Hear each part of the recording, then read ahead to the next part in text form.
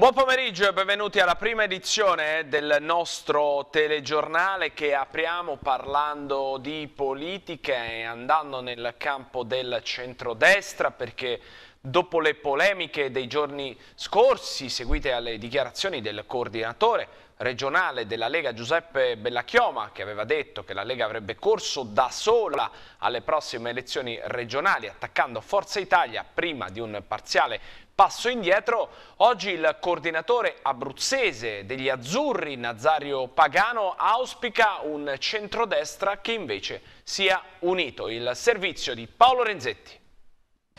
Pagano, tornata la pace con la Lega?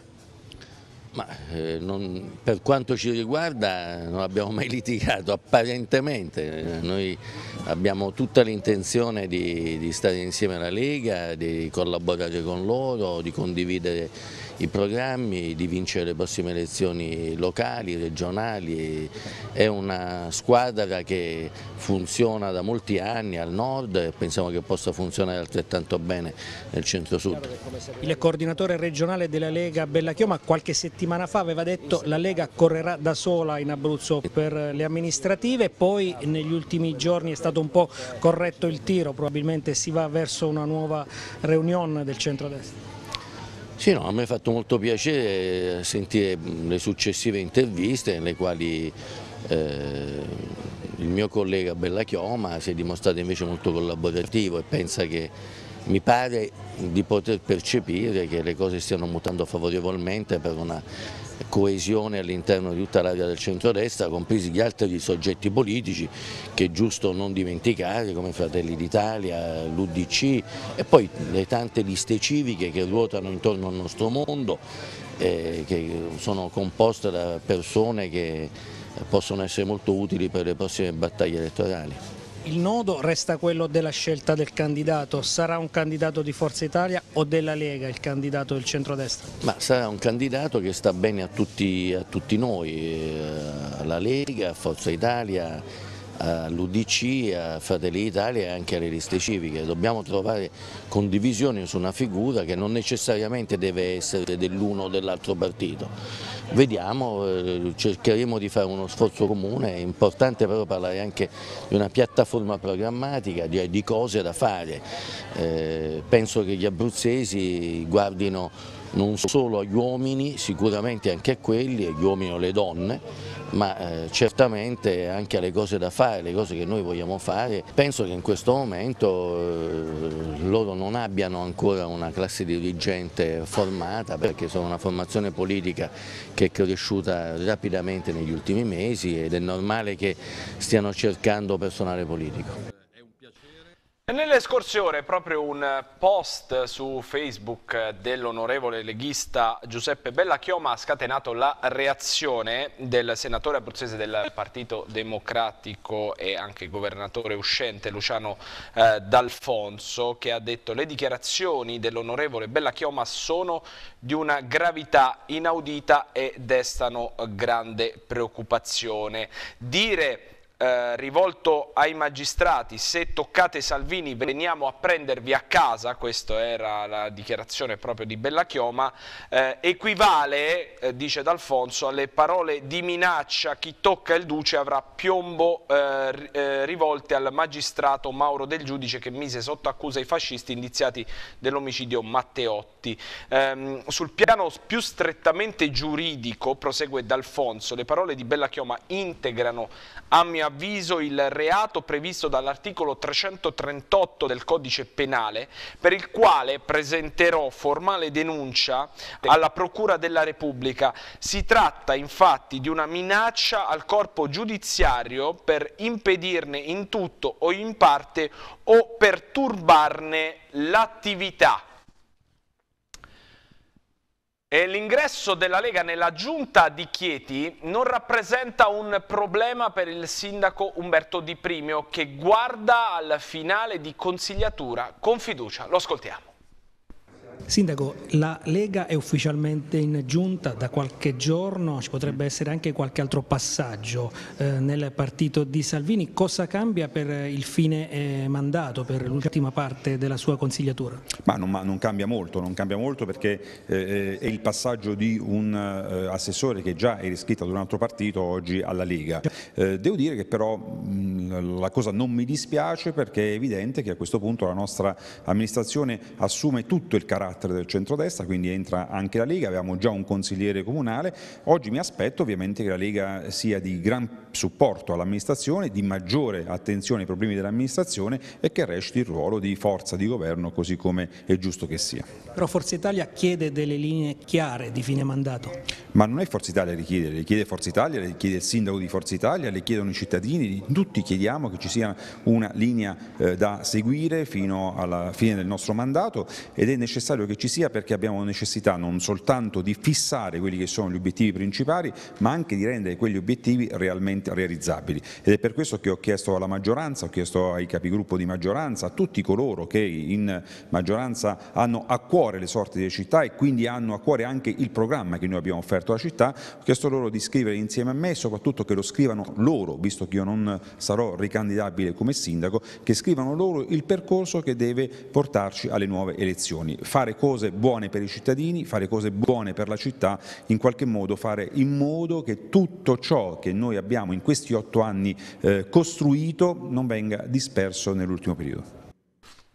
Cambiamo argomento adesso perché a seguito delle numerose segnalazioni apparse sui media locali e nazionali sulle condizioni generali dei viadotti delle autostrade A24 e A25 gestite da Strada dei Parchi, è stato presentato un esposto sulla manutenzione ordinaria dall'associazione eh, Nuovo Senso Civico. Eh, L'esposto, consegnato alle nove procure della Repubblica interessate dal tracciato, al MIT, alle regioni e alla Corte dei Conti. Nelle esposto dopo aver ricordato che le segnalazioni apparse sulla stampa denotano fenomeni di eh, disfacimento del copriferro, grave ossidazione dei ferri nonché distacco del calcestruzzo, si chiede di verificare lo stato delle opere d'arte se siano stati effettuati gli interventi di manutenzione ordinaria in capo al concessionario. Tutto ciò tenendo conto che il numero di controlli effettuato dal MIT eh, è a nostro avviso, dice il nuovo senso civico, molto basso. Eh, addirittura nel 2013 non vi furono controlli.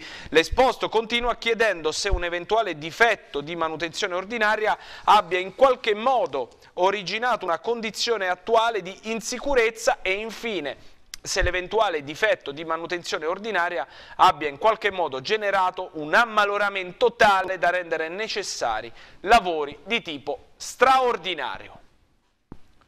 Il 26 agosto invece ci sarà la giornata di mobilitazione nazionale degli stabilimenti balneari per protestare contro gli effetti della legge Bolkenstein e invitati alla mobilitazione parlamentari e amministratori abruzzesi. Vediamo. Noi scendiamo in piazza nel senso che abbiamo detto che il 26 di agosto deve essere nel tempo una giornata nazionale per far presente all'opinione pubblica, ai nostri bagnanti, che noi siamo per loro una risorsa, non siamo i loro affittuari, proprietari degli ombrelloni e dei servizi. Noi siamo quelle persone che hanno messo in piedi un'impresa e il nostro patrimonio sono i clienti. Immaginare una spiaggia senza i nostri clienti, senza le strutture balneari sarebbe veramente un danno all'immagine, un danno al turismo balneare. Noi ci auguriamo, così come hanno detto durante le campagne elettorali e Centinaio lo ha ribadito la scorsa settimana, che i balneari hanno bisogno di una, proroga di, una proroga di almeno 30 anni. Per la verità, lo ha detto Scaiola, l'assessore eh, in Liguria, queste cose, noi diciamo possiamo anche ragionare, metterci intorno a un tavolo, per esempio eh, un restyling di tutta la costa abruzzese che sono 650 lidi, beneficiando di questo, di questo diciamo, prolungamento della congestione, applicando la quadra 496, la 296 è una legge dello Stato che consente di avere attraverso gli investimenti un congruo periodo di, di, tempo per ammortizzare gli investimenti e questo darebbe una grande mano. Siamo fermi da, con gli investimenti dal 2011. La richiesta è rivolta a tutto l'arco parlamentare attualmente è rivolta a, ai partiti che sono i più rappresentativi sul territorio. È chiaro che noi oggi abbiamo fatto una conferenza stampa invitando tutti i segretari regionali dei, dei, delle forze politiche a livello nazionale, ci auguriamo che l'appello di domenica possa essere recepito su tutto il territorio. Eh, rimaniamo a Pescara perché martedì prossimo consiglio straordi comunale straordinario sull'emergenza nel reparto di geriatria dell'ospedale civile. Sono 14 consiglieri comunali che hanno firmato la richiesta. Abbiamo fatto la commissione, si è recata presso il reparto di geriatria proprio perché sollecitata anche da alcuni familiari e soprattutto perché con il fatto che è venuta a conoscenza di questa eh, intervista eh, a livello nazionale. La situazione che abbiamo trovato è quella che in qualche maniera purtroppo ci immaginavamo e come ci dicevano, eh, un reparto che fondamentalmente ha una potenzialità di 52 posti aveva in quel momento circa una quindicina di pazienti in più, oltretutto collocati lungo le, le corsie. Il problema diciamo, eh, per quanto ciò loro ci hanno detto riguarda un po' a livello organizzativo che spero, ripeto, attraverso il prossimo Consiglio possa essere in qualche maniera, eh, possa trovare soluzione. È quella che attualmente quando un paziente arriva dal pronto soccorso, eh, se supera il 75 anno d'età viene direttamente diciamo, rilegato in, in geriatria e quindi questa cosa porta soprattutto dico e sottolineo soprattutto nel periodo estivo, eh, soprattutto nel periodo estivo, quindi una maggiore eh, frequenza delle persone anziane verso questo reparto. Eh, noi abbiamo invitato il direttore generale della ASL, abbiamo invitato il primario del pronto soccorso, abbiamo invitato il primario della geriatria con la caposala eh, della geriatria che lì c'è anche un problema in ordine al personale, abbiamo invitato i responsabili dei punti mh, mm, eh, di Scafa e Popoli e poi abbiamo avvisato anche tutte le organizzazioni sindacali presenti all'interno del nosocomio pescarese. Chi pensava che io mollassi l'osso ha proprio sbagliato. Chi mi conosce sa che non faccio solo ed esclusivamente conferenze stampa per prendermi qualche titolo in prima pagina in qualche quotidiano locale, in qualche televisione locale o nazionale. Io non mollo l'osso non lo mollerò fino a quando non sarà risolto il problema. Quindi fatti ma non chiacchiere. Martedì ne vedremo delle belle.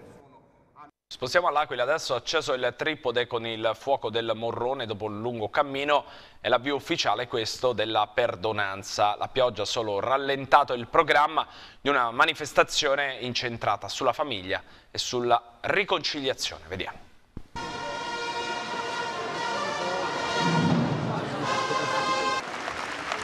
Dichiaro aperta la 724esima perdonanza celestiniana la pioggia ha solo rallentato il viaggio del fuoco del Morrone per arrivare sino all'Aquila davanti alla Basilica di Colle Maggio. Una famiglia aquilana, la famiglia Iacobucci, ha portato il fuoco nell'ultimo tratto per l'accensione del tripode.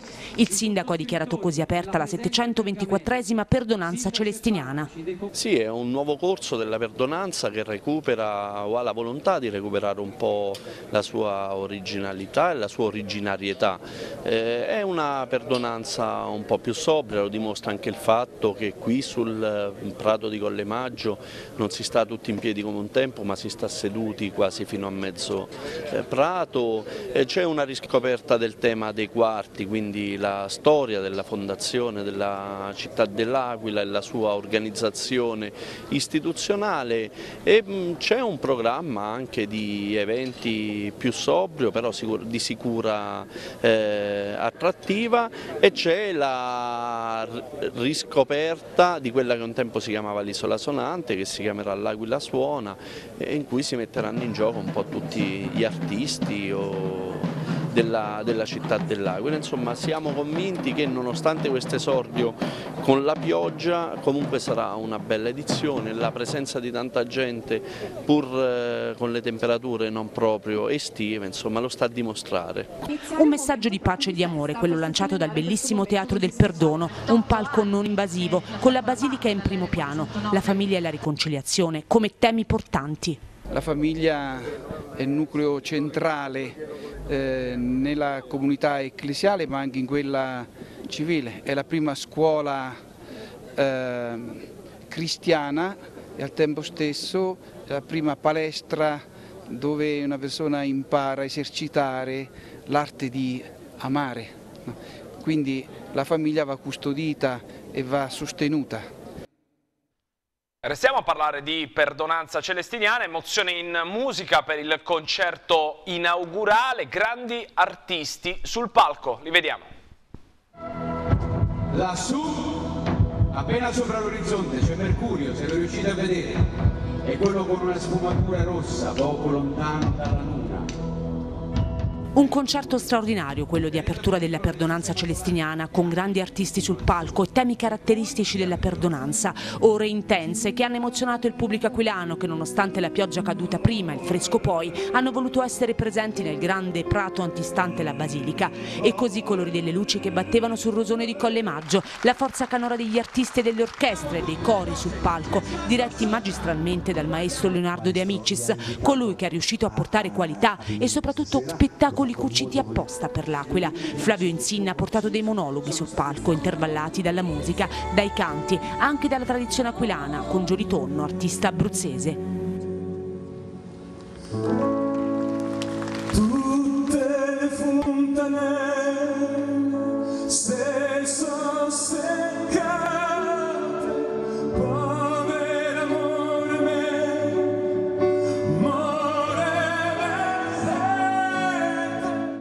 una grandissima emozione e credo che la serata soprattutto dica una cosa, che la musica è come la vita, viene bene solo se si fa tutti insieme. E in questo periodo così complicato di questo nostro mondo e di questo nostro paese abbiamo fondamentalmente abbiamo bisogno di perdonarci, di perdonare, di essere perdonati e di stare insieme. Lorena Bianchetti sul palco ha chiamato ad uno ad uno gli artisti, ognuno con la sua proposta musicale per la città. Un amico dell'Aquila è Red Canzian, che dopo il suo tour che ha fatto il sold out con l'istituzione sinfonica ha giurato amore eterno a questa città. Sul palco ha magistralmente interpretato uno dei grandissimi successi intramontabili dei Uomini Soli.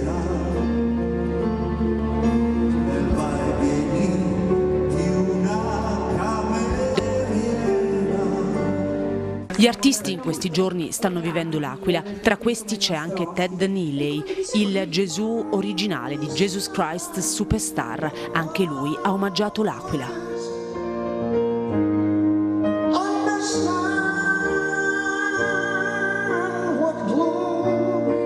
È stato un tripudio di emozioni, di canzoni, di talenti aquilani con voci straordinarie, con la chiusura affidata ad un gigante della musica, il maestro Riccardo Cociante, originario di Rocca di Mezzo, che ha voluto omaggiare il pubblico con un'Ave Maria da brividi. Davanti alla Basilica di Colle Maggio uno spettacolo immenso, apprezzato, emozionante, che mai più sarà solo per una notte. All'Aquila tutto questo.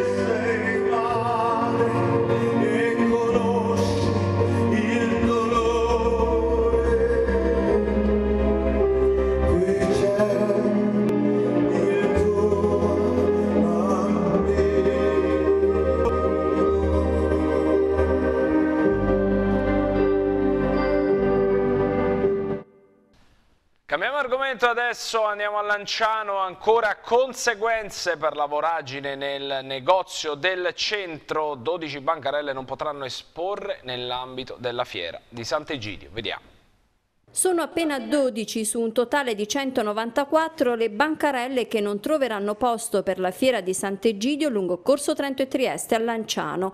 I calcoli definitivi sono stati elaborati dall'ufficio del settore commercio del comune. L'assessore Francesca Caporale illustra le decisioni assunte a seguito della chiusura di una corsia a causa del crollo di un pavimento nel piano interrato di un locale commerciale. Nel frattempo gli operai comunali sono al lavoro per allestire gli spazi.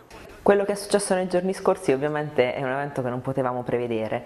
Il transennamento e quindi l'area che è stata delimitata nel momento in cui sono intervenuti i vigili del fuoco, ad oggi eh, dagli uffici ci fanno sapere che rimarrà quella, non essendoci state ulteriori perizie da parte dei tecnici che hanno ricevuto l'incarico. Quindi per il momento quel tratto di corso è interessato dalla presenza di 32 bancarelle. La volontà era quella di mantenerne il più possibile lì in zona per andare a minimizzare al massimo quelli che potrebbero essere gli impatti economici sugli operatori e quindi sugli ambulanti avanti. Stiamo facendo le ultime verifiche, quindi con le ultime misurazioni, al momento pensiamo di riuscire a mantenere i due terzi nell'area, quindi circa 20 bancarelle, mantenerle lì, che ci aiuteranno anche a fare il presidio del transennamento stesso, quindi a impedire alle persone di avvicinarsi lì alle transenne e poter transitare tranquillamente nell'area che è rimasta aperta anche alle auto. Ad oggi dovrebbero essere quelle spostate unicamente 12 di bancarelle e stiamo valutando qual è l'area più, più commerciale in cui poterle spostare. C'è anche l'ipotesi dei viali? L'ipotesi dei viali è semplicemente perché è in continuità con il termine del, della fiera stessa, noi all'altezza dell'intersezione tra Corso Trento e Trieste e i viali ci sono le ultime bancarelle, l'idea sarebbe proseguire lì e quindi non andare a spezzare quel flusso di persone perché come si sa la, la qualità commerciale del posizionamento di una bancarella è proprio quello del momento in cui le persone transitano lì davanti e quindi creare dei luoghi che possono essere distaccati dal resto del mercato comunque può dare un danno economico agli operatori che puntano tanto sulla festa di Sant'Egidio perché abbiamo per fortuna tante presenze ed è un evento che richiama non soltanto i cittadini di Lanciano ma da tutti i dintorni. È stato inaugurato ieri a Trasacco, in provincia dell'Aquila, in via Martiri di Nassiria, il nuovo centro di raccolta rifiuti realizzato dalla società di gestione dell'igiene urbana Tecneco. Il centro potrà essere utilizzato da tutti gli utenti dei comuni di Trasacco, Collelongo e Villa Vallelonga.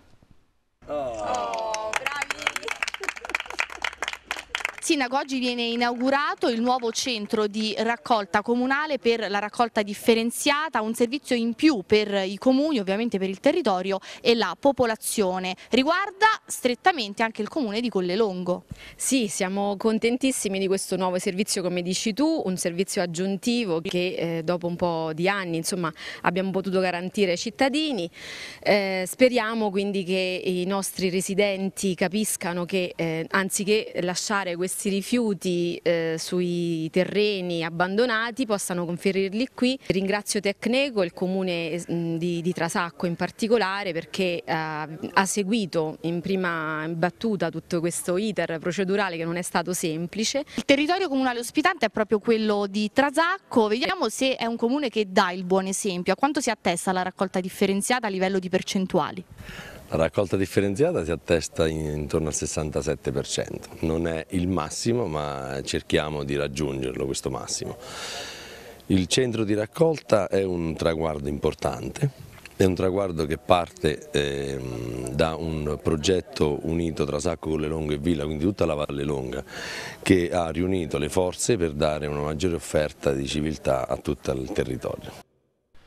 E apriamo adesso la pagina dello sport e partiamo con la Serie B che inizia oggi con l'anticipo Brescia-Perugia ma che ovviamente domani vedrà in campo il Pescara e sarà un Pescara quasi al completo, quello che debutterà in campionato alle 18 allo Zini di Cremona.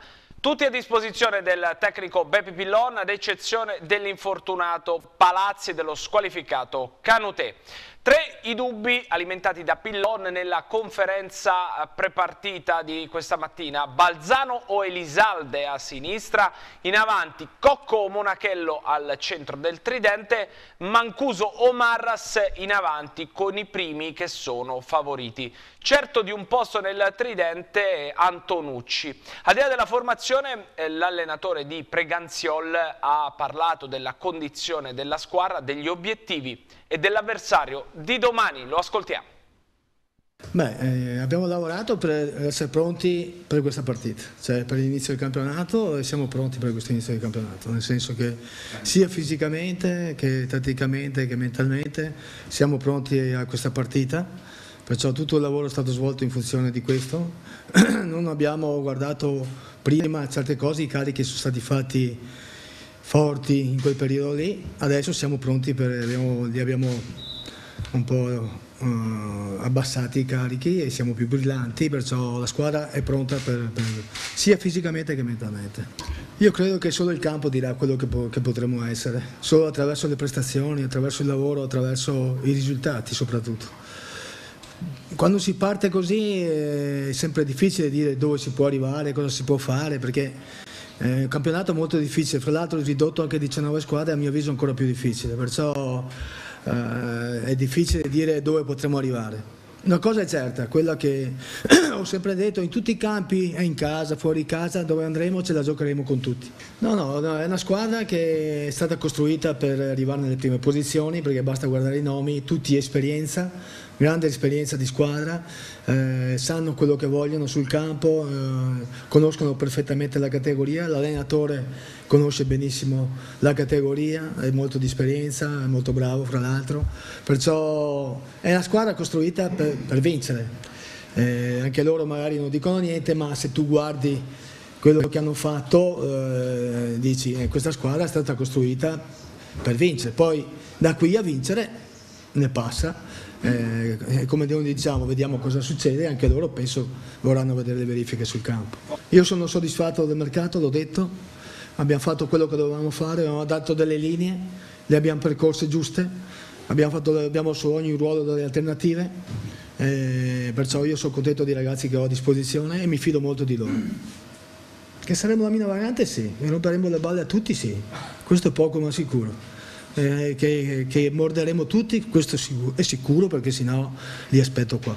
Sicché quello è sicuro. Poi le partite si possono vincere, perdere, gli episodi ti fanno cambiare una partita, però l'atteggiamento deve essere quello, devi avere il furore addosso, se no non si va in nessun posto se non sei così, eh. non si va in nessun posto. Gli occhi della team. sì, non volevo dirlo, ma se devi avere quegli occhi là, sì.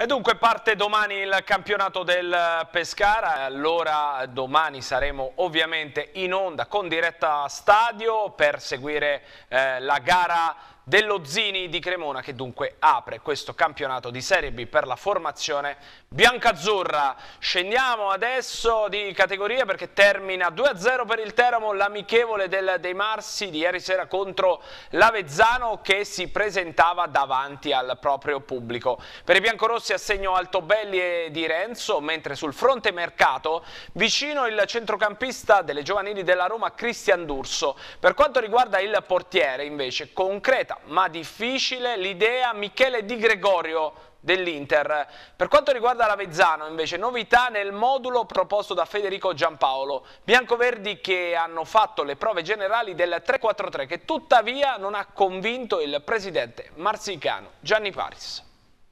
Il Teramo vince 2-0 l'amichevole dei Marsi di Avezzano nella serata degli ex Lewandowski e Persia in cui la squadra biancoverde si presenta davanti ai propri tifosi. Una vittoria firmata Altobelli e Di Renzo per i biancorossi ancora molto attivi sul mercato con il centrocampista Cristian D'Urso della Roma vicinissimo e che nelle prossime ore potrebbe firmare per il Diavolo. E col portiere, il nerazzurro di Gregorio in Paul, ancora da mettere sotto contratto. Un tempo per squadra quello che ha provato Giovanni Zichella, una squadra che al netto degli slittamenti continui del campionato sembra entrare piano piano in forma, anche se per due terzi difesa e centrocampo sembra più avanti, mentre in attacco qualche meccanismo è ancora da sistemare. Questo perché Di Renzo si mostra in palla, mentre Fratangelo, Piccioni, Zecca e Bacio Terracino paiono ancora in difficoltà, non tanto dal punto di vista della preparazione fisica, quanto della collocazione in un 4-3 ancora da scoprire totalmente. Chi invece desta ogni volta impressione è Simone Vitale, l'ex Pescara un sinistro fattato che al 35 propizia l'1-0 firmato dalla testata di Altobelli, un altro di coloro che sembravano con la valigia in mano e che invece può ritagliarsi uno spazio importante il riesordio di Ventola invece conferma che l'esterno destro è il colpo fondamentale per gli equilibri del diavolo. Nella ripresa in cui Zichella cambia tutti meno che Di Renzo e Lewandowski è proprio l'attaccante al sessantesimo a fissare il punteggio sul 2-0 finale raccogliendo una corta respinta di Fanti su cross di Mantini. In difficoltà invece Ranieri in mediana così come Zecca che nella ripresa non fa meglio di un K che gioca la prima frazione ma è praticamente invisibile. Sul fronte Avezzano invece la rivoluzione copernicana ha le fattezze del 3-4-3 con cui Giampaolo decide di giocare la gara del De Marsi, un modulo che sembra poter ribaltare le gerarchie in casa biancoverde ma che pare ancora un po' indigesto in fase di proposizione di gioco, specie se ad interpretarlo non sono tanto Pellecchi ad Alessandro Deramo quanto Federico Cerone che spostato sulla corsia di destra prova qualche sortita ma senza rendersi realmente pericoloso. E così Dos Santos che pure si dà un gran da fare resta spesso isolato in uno schieramento questo sì ancora da perfezionare e che sembra non aver convinto il presidente Gianni Paris Giampaolo però è tecnico preparato e la scorsa stagione lo ha dimostrato è in grado di dare forza ed equilibrio alle idee che ha anche in poco tempo. Peraltro di tempo ce n'è in abbondanza. Il campionato parte solo a metà settembre e gli esperimenti per Avezzano e Teramo sono ancora possibili. La squadra, eh, specialmente nel primo tempo, avevamo tanti giovani dentro, tantissimi giovani e mi sono piaciuti. Eh, abbiamo fatto una buona gara, eh, secondo tempo un po' più di contenimento, ma va bene. Insomma, abbiamo giocato, devo fare i complimenti all'Avezzano, mi sembra che singolarmente sia una squadra importante per affrontare un buon campionato di Serie D. Nel secondo tempo qualche cambiamento, almeno all'inizio, i due esterni più le due punte, che ti è sembrato? Sì, abbiamo provato con un centrocampo a due eh, per provare a giocare con Spighi e, e Ranieri e giocare con quattro attaccanti. Eh, mi sono lasciato un po' prendere da queste grandi squadre europee che giocano con questo 4-2-3-1 eh, però eh, ho provato tra il primo e il secondo tempo a farlo eh, senza averlo mai provato in allenamento quindi non potevo pretendere più di tanto però ho avuto delle buone indicazioni. Durante il campionato in partita in corsa non voglio dare nessun aiuto agli avversari però non è detto che ci mettiamo come abbiamo fatto finito il campionato scorso con la Reggiana con 4-2-3-1 è una cosa che si può provare. Uh, oggi sicuramente il mister ha provato uh, schemi diversi, io vedo questa squadra come l'anno scorso con il 4-3-2-1, preferisco questo modulo per le qualità, uh, le caratteristiche dei singoli, quello è il modulo dell'Avezzano Calcio, il mister sicuramente fa bene a provare altre soluzioni, però se torniamo al modulo vecchio secondo me torniamo anche a dare un input, un imprinting importante alla stagione che sta per cominciare. Modulo vecchio, certezze anche vecchie e consolidate in sintesi lei vuole dire? Sì, sì, infatti senza utilizzare frasi fatte preferisco insomma, tornare al, al, modulo della stagione passata perché i giocatori più o meno sono gli stessi, si conoscono, hanno sincronismi adeguati e credo che il mister sarà in grado di valutare attentamente quello che dice il Presidente. Beh, il problema della giustizia sportiva e delle regole del calcio è ancora un miscuglio da decifrare e quindi il ritardo e quindi eh, la decisione di mettere tutte queste nobili decadute nei vari gironi, eh, mi hai preso l'esempio del Bari, eh, ci fa capire che appunto devono cercare di far eh, comandare a chi il comando già ce l'ha. Questo era il nostro ultimo servizio, io vi ricordo questa sera alle ore 21 l'ampia sintesi proprio dell'amichevole di ieri sera del De Marsi tra Avezzano e Teramo, telecronaca di Andrea Costantini. Per il momento io vi ringrazio per la cortese attenzione e vi auguro un buon proseguimento di giornata.